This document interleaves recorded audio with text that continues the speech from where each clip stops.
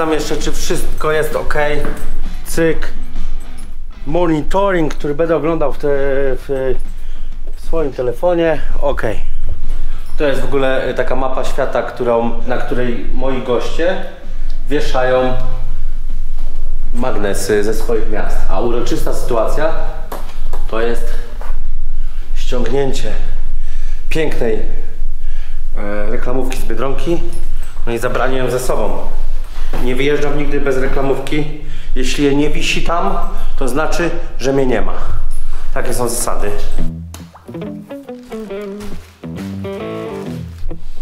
Piękna pogoda, piękne słońce, a jest 29 października.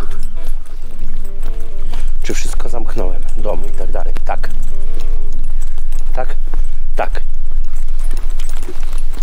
Zapomniałem śmieci, a żona mówi tylko nie zapomnij śmieci, bo zaśmierdnie. W piecu nasypane, chałupy posprzątane, wszystko zrobione picobello. Fajnie w ogóle, że mieszkam w miejscu, które jest wylotówką. O, prawdopodobnie Słowak pojechał naszą nielegalną granicą, bo mamy zamknięte granice ze względu na nielegalnych imigrantów z Syrii, którzy próbują się ze Słowacji przez Zwardoń dostać do Polski, a z Polski do Niemiec. Granice są zamknięte, otwarta jest tylko jedna, główna, tak zwana S1, droga szybkiego ruchu. Przez to, delikatnie mówiąc, nie możemy jeździć pipidówkami. Ale jest jednak droga, którą się da przekroczyć. No i miejscowi wiedzą. Jak i skali te, tak jak i my. No to delikatnie mówiąc, mamy tutaj most taki y, kręty, ogólnie niby fajny, bardzo ładny, w ogóle wow, ale problem polega na tym, że jak jest zima, to nie wiem jak tego inżyniera na, nazwać, bo to kurde normalny człowiek nie jest, ale jak jest zima, to nie dość, że to jest pod górkę, to jeszcze kręte. I powiem wam szczerze, ten most raczej zawsze jest taki śliski, że tak powiem, nie? A tutaj, o, zobaczcie. Droga jest zwężona, trzy pasy, znaczy dwa pasy plus zjazd w prawo, zwężone do jednego. Tam stoi Straż Graniczna, Służba Celna, Policja oraz Armia. Dlaczego? A chociażby dlatego, no, że łapią Syryjczyków. O, widzicie? Podjeżdża samochód z Bielska. Zatrzymają prawdopodobnie, zapytają, czy żeby otworzył bagażnik. Papierem kontrolen. Otwieraj bagażnik, panie. Opuścił go. Czyli nie sprawdzają. Czyli możecie wozić towar z Czech. Normalnie poszlibyśmy na skróty tutaj. Tylko pytanie brzmi, czy mi się tutaj ktoś zatrzyma. Nie wiem. Wolę być w miejscu, które wydaje się być bardziej legalne. No, jestem już na byłej drodze łączącej Polskę ze Słowacją. Właśnie ta droga, około 700 metrów stąd, jest zamknięta, a droga ta idzie sobie do Żywca, a z tej strony do Czadcy. Z ciekawostek, których nie zobaczycie z daleka, jest to, że tam jest schron jednoosobowy. Dlaczego schron, a nie bunkier? Bo dowiedziałem się, robić odcinek w kanale, na kanale Faza na końcu świata, że nie można mówić o polskich bunkrach, że to bunkry, tylko schrony, bo bunkry są niemieckie. Wiedziałbyś? Ło, Żylina Żywiec.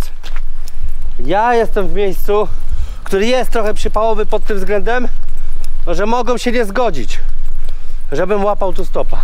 Jedyne co mnie może uratować, co może mi dać trochę szczęścia, to to, że w jakimś stopniu moja morda jest rozpoznawalna i może akurat jakiś Polak będzie jechał i powie Ej siema, gdzie jedziesz? Ja powiem do Rzymu. Dlaczego jadę do Rzymu? Bo moja pierwsza podróż autostopowa, autostopowa w życiu za granicę w 2000 yy, to był Sylwester 2012-2013 była właśnie do Rzymu na e, Sylwestra o nazwie Koloseum Party. No dobra, na ten moment jak to zawsze powiadałem, zacznijmy tą uroczystą chwilą słowa będę łapał stopa.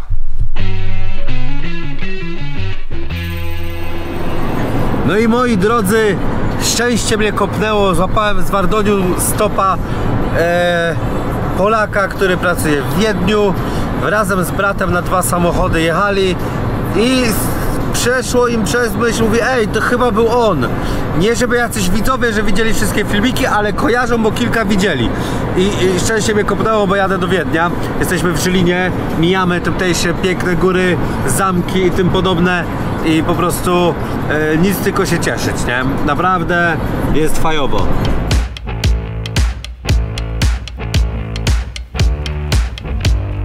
No to my tu gadu, my tu gadu, gadu. Ogólnie y, nie chcę mówić nic złego na temat Słowacji, ale w mojej ocenie, pod względem wizualnym, jak mijałem ten kraj, to troszeczkę wygląda dużo biedniej niż Polska. Teraz mijamy stolicę, czyli Bratysławę. Yy, co mogę powiedzieć? Albo stare komunistyczne bloki, albo widać nówki, yy, drapacze chmur, które właśnie zostały prawdopodobnie wybudowane nie tak dawno temu. Tam jest wieża telewizyjna. Yy, wygląda spoko. Czy zwiedzę kiedyś Bratysławę? Ja myślę, moi drodzy fazowicze i fazowiczki, że ogólnie większość krajów europejskich w przyszłości pokażę, e, bo ogólnie powiem tak, pewnego dnia to już będę, że tak powiem, mało w stanie jeździć e, w taki sposób, jak jeździłem przez lata. Więc wtedy może właśnie wybiorę się tutaj. Wygląda to spoko, aczkolwiek większość, większość e, Słowacji tak, tak trochę biedniej, nie?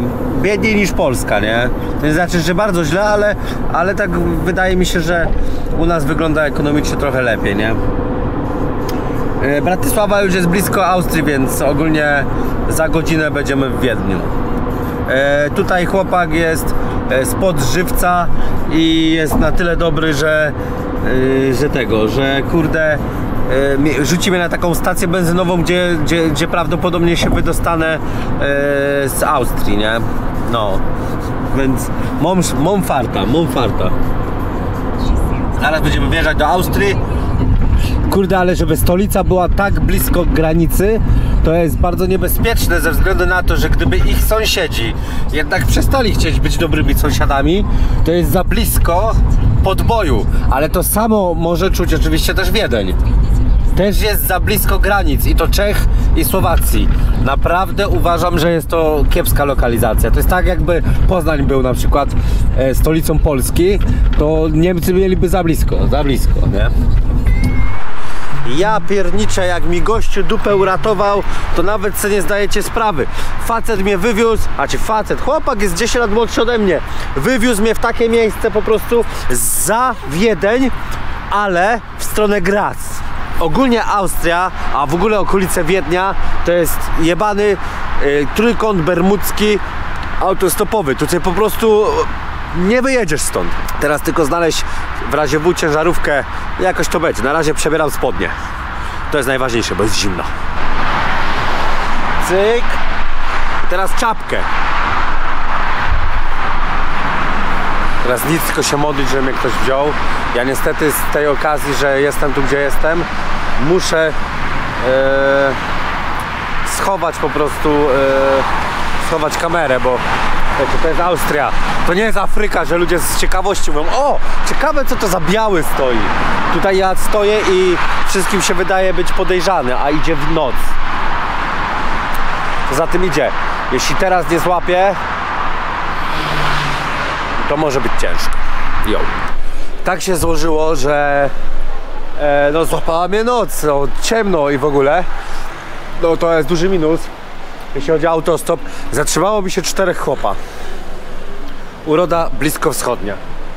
Pochodzący z Afganistanu. I wiecie co?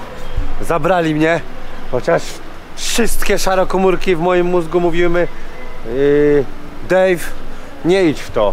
Ale mówię, to są jedyni ludzie, którzy mi się zatrzymali w całym tym, yy, w te, całej tej ciemnicy i w tym bagnie. No i co zrobiłem? No i się za, zatrzymali.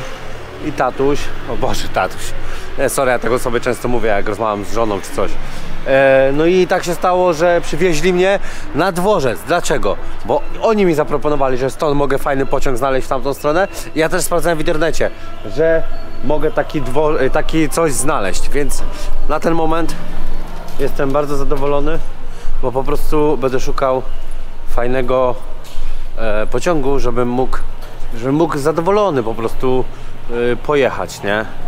No, do rana muszę dojechać do Wiednia, jeżeli ja w ogóle chcę marzyć o tym, żeby, y, żeby mi się udało. No niestety, powinienem sobie jeden dzień więcej wziąć. No i poza tym jest zajebiście zimno. No nic. Czy popieram robienie graffiti na e, pociągach? Absolutnie nie, bo widzicie, graffiti y, pokrywa się razem z y, oknami, a to już jest wandalizm i no i, no i nie, nie bójmy się tych słów, skurwysyństwo, tak się nie robi. Co innego jak ominęliby na przykład e, okna, to spoko, ale tutaj nie ominęli, więc nie podoba mi się to. Nie podoba mi się to. Nie podoba mi się to.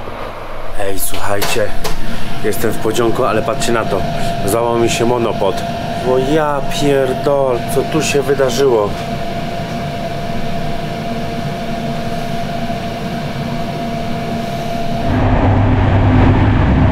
Jest piąte rano. Nawet nie. Stałem o czwartej.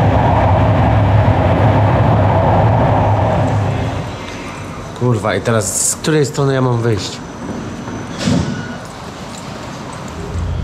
Jestem w autobusie. Trafiłem, w ogóle zajebista, a cię wiem, wszyscy wiecie o tym, ale w Europie, no bo wiecie, jak jesteście w Indiach czy coś, to tam nic nie działa, nie? Ale tutaj, w Europie całej i no i w innych cywilizowanych krajach, po prostu klikasz sobie jakieś miejsce i ci pokazuje, jakim autobusem dojedziesz, gdzie masz wysiąść, albo gdzie masz się przesiąść i tak dalej, i tak dalej. Wiem, wszyscy to znacie, ale tutaj nawet pokazuje, nie wiem, pociągi międzynarodowe, wszystko. Powiem wam, luksus. I tak się podróżuje dobrze. Czyli dojechałem tutaj, zamiast kombinować, pytać i tak dalej, to mi pokazuje, o której godzinie mam pierwszy autobus, albo tak dalej, tak dalej, gdzie mam dojść, wsiąść do jakiego autobusu, dojechać, dojść sobie jeszcze kilometr 900 i jestem na wylotówce. No, powiedzmy, wiem, że to zabrzmi jak jakiś dziaders, ale za moich czasów tak nie było. Jak zaczynałem, nieźle, nieźle, naprawdę. Kurde, cywilizacja.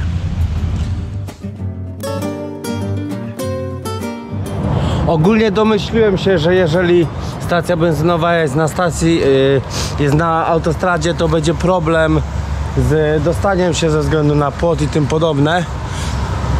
Ale mam na tyle szczęścia, że ten płot jest yy, no taki, że najprawdopodobniej czy patrzę, czy gdzieś nie jest schowana klamka. No muszę go przeskoczyć. O kurwa.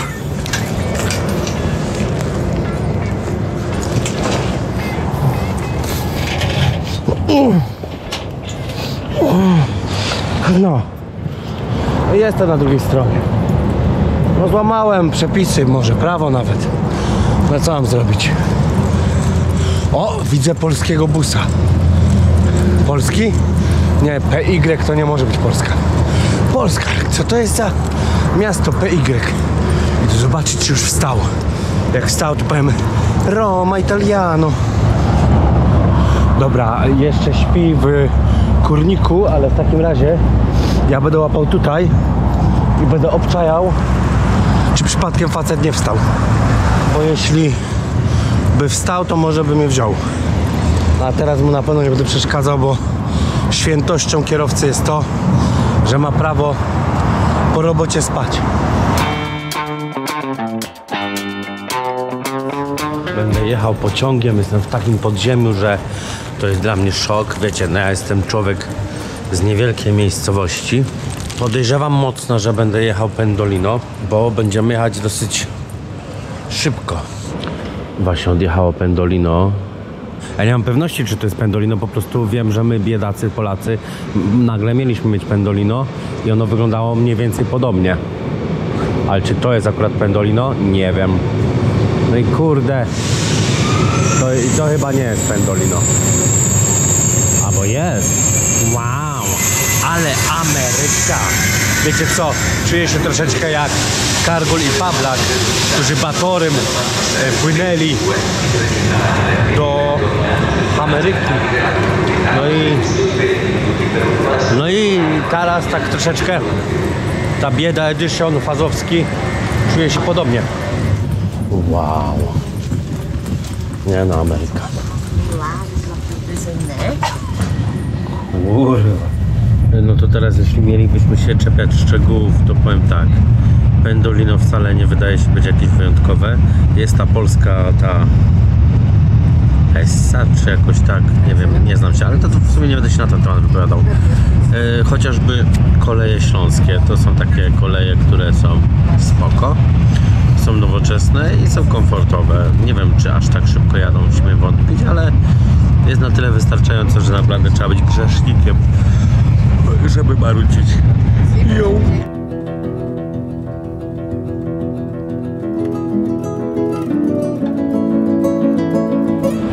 Jestem w Rzymie. Po raz trzeci w życiu jestem tutaj. Po raz pierwszy byłem na Sylwestra 2012-2013. Po raz drugi byłem na kanonizacji Jana Pawła II 2014 roku. Z tego co pamiętam, albo 27, albo 24 kwietnia. Jeśli się pomyliłem, to przepraszam. Teraz jestem po raz trzeci. I widziałem Koloseum raz, ale nie byłem w środku. I teraz jest y, taki bajer, że chciałbym w środku zwiedzić. Jeśli się uda, ale podobno łatwo nie będzie. Na przykład taki tour. A, tu chodzi o to, że możesz kupić i jeździć po wszystkich y, po wszystkich atrakcjach. To sens. Moi drodzy, nie mam zwyczaju wychodzić wieczorem z miejsca, w którym śpię, głównie ze względu na to, że nauczyłem się w ten sposób dbać o bezpieczeństwo.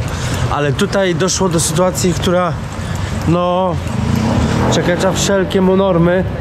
Po prostu zniszczył mi się e, zniszczyła mi się część z GoPro i mam sklep, którym najprawdopodobniej e, dostanę taką część, albo chociaż może uda się ją zamówić. Jakby się chociaż udało ją zamówić, to już będzie bosko. E, byłem w sklepie, gościu teraz mi powiedział, że nie ma i nie będzie, jedynie Amazon i Dali, co najwyżej, czyli przez internet. O, taka część oderwała się przez co już nie chce działać, ale kupię coś w stylu Poxipolu albo coś w tym stylu. Tutaj to steguję i szkotem z całych kurwa możliwości i sił przyczepię to całe o monopod i to jest mój plan. Inaczej e, nie będzie to działać.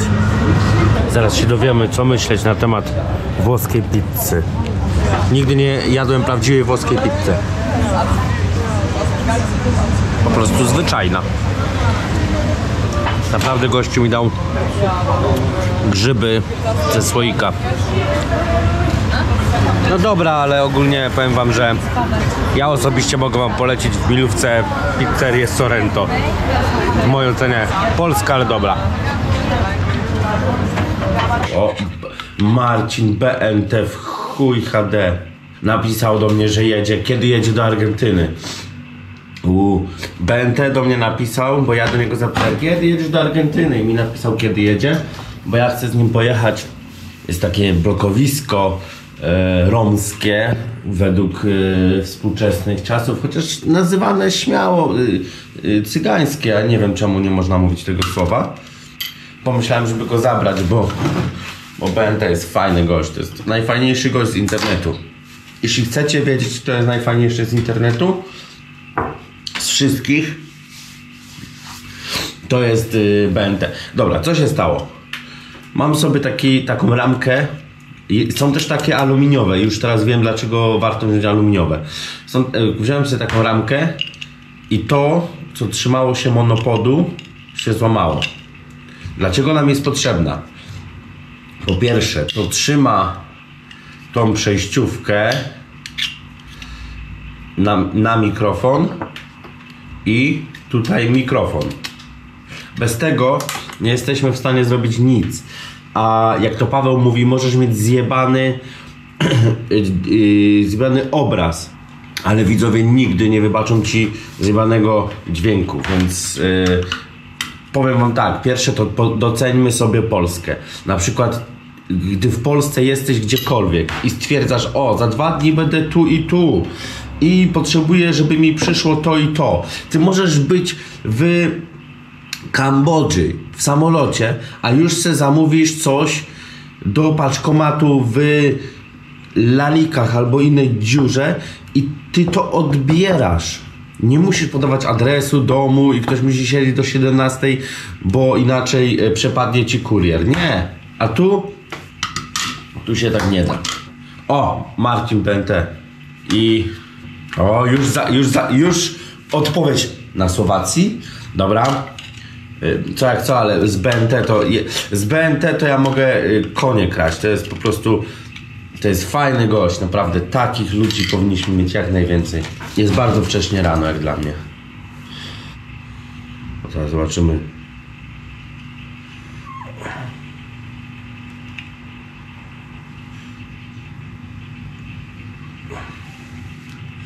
O, BNT. Mogę jechać. No ale dla mnie najlepiej po powrocie. No wiadomo, Marcinek. O. I teraz pewnie pomyślicie, kurwa, przecież to zaraz y, walnie. No właśnie, też tak uważam. No.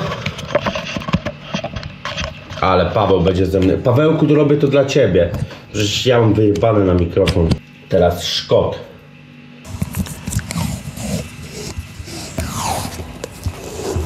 Raz, dwa, trzy, cztery. Witam serdecznie wszystkich i mam nadzieję, że będziemy mogli ze sobą dużo więcej rozmawiać niż nam się zdarza. Ogólnie rzecz biorąc, jo. Patistini, makarony. Jedziemy.